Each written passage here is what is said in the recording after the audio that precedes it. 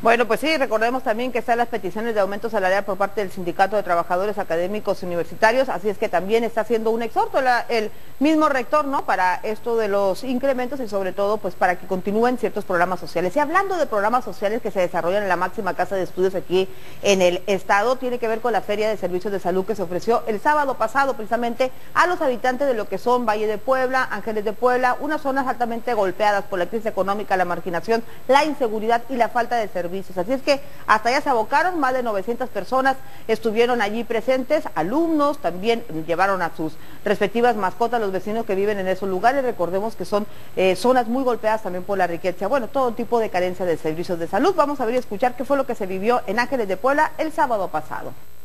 Muy bien, qué bueno que hacen todo esto para toda esta gente que tanto necesitamos porque a veces no tenemos las posibilidades y estoy muy contenta y a gusto. En una amplia jornada de servicios, la Universidad Autónoma Baja California cumplió este sábado con unos objetivos fundamentales, además de lo académico, que es regresar a la comunidad todo el esfuerzo que hace para que la máxima casa de estudios continúe funcionando en el Estado. Es una jornada como eh, muchas que realiza la universidad para eh, cumplir con una de sus grandes responsabilidades que es apoyar el desarrollo social comunitario. En esta ocasión eh, nos hemos dado cita siete unidades académicas, las facultades de medicina, odontología, enfermería, deportes, derecho, el Instituto de Ciencias Veterinarias y la Facultad de Ciencias Humanas para ofertar un conjunto de servicios profesionales, orientación especializada y un conjunto de acciones preventivas en muchos ámbitos en apoyo de esta comunidad de Los Ángeles de Puebla. Es el compromiso social de la universidad responsable hacia su comunidad, que está deseosa de que le atiendan desde su mismo entorno. La universidad viene realizando eh, muchas acciones de esta naturaleza, eh, las hemos realizado ya en San Quintín, en Mexicali, en Tijuana, y con ello creo que cumplimos con esa gran responsabilidad que tenemos como institución. La educación superior de carácter pública solamente tiene sentido si nuestros estudiantes logran regresarle a la sociedad lo que la sociedad les ha dado.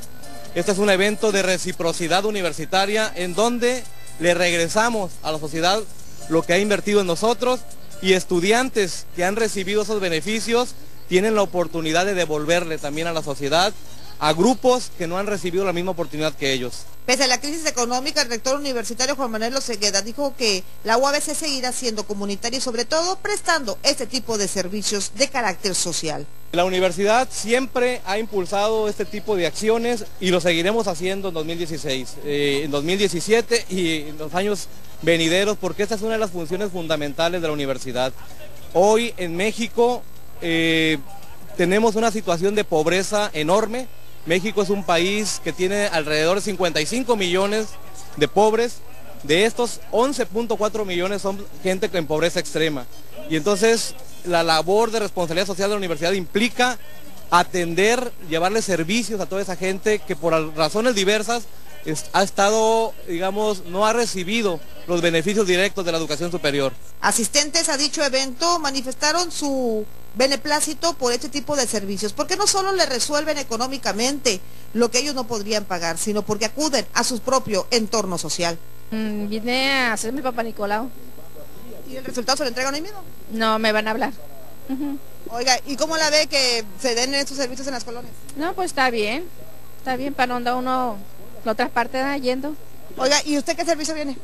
Pues ya me chequé el diabetes y la presión y voy a entrar a consulta y voy a meter a mis niños al dental.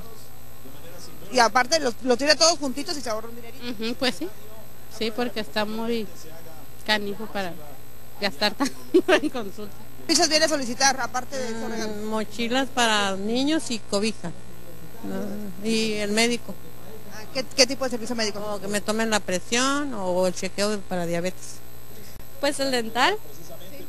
Oye, ¿y, qué te parece que se den esos servicios en las colonias? Muy bien, de mucha ayuda para todos. El coordinador de vinculación universitaria Miguel Ángel Martínez Romero habló respecto de los servicios que se prestaron a los más de mil asistentes, vecinos de diferentes fraccionamientos aledaños Ángeles de Puebla. La Facultad de Medicina, pues como lo venimos comentando, trae consulta general, trae detección de enfermedades como VIH, como sífilis, como hepatitis, detección de cáncer, oportuna de cáncer. Enfermería también trae detección de cáncer de mama, algunos talleres sobre nutrición El Instituto de Investigación de Ciencias Veterinarias trae todo lo que es desparasitación, eh, educación para prevenir la, la riqueza y vacuna antirrábica. La Facultad de Derecho trae uh, un bufete jurídico aquí para asesoría y tiene unas pláticas para derechos de la niñez y derechos de los adultos. La Facultad de Ciencias Humanas trae talleres sobre, uh, sobre adicciones y bueno, y Facultad de Deportes trae lo que es la activación física y deportes. La verdad es que estamos muy contentos porque iba a empezar a las 8 de la mañana y desde las 7 y media ya había gente aquí esperando. Algunos exfuncionarios, como el caso del exdelegado Ernesto Zúñiga de González Ortega, hablaron respecto a lo que es la organización comunitaria de parte y de mano con la Universidad Autónoma de Baja California. El trabajo comunitario es algo que lo aprendimos en la UABC y hemos estado en otros clubes de servicio, entonces pues es una gran oportunidad estar cerca de la ciudadanía, ¿verdad? También participaron directamente unos 150 alumnos y los respectivos directores de las unidades académicas, como el caso de Adolfo Soto, director de la Facultad de Ciencias Humanas. Esto es parte de la responsabilidad social de la UABC son las brigadas universitarias que se han hecho desde hace bastante tiempo ya y en esta ocasión hemos sido incluidos de la Facultad de Ciencias Humanas para la cuestión de la risoterapia, la prevención de la riqueciosis, también terapia familiar, eh, estamos básicamente dando de simulación temprana para los niños y consulta psicopedagógica. ¿Y qué le parece para concluir esta macro jornada organizada por la Universidad Autónoma de California con un hermoso abrazo y sobre todo gratis? En contacto forma Ranulfo Carrero y Rosa María Méndez, Canal de las Noticias.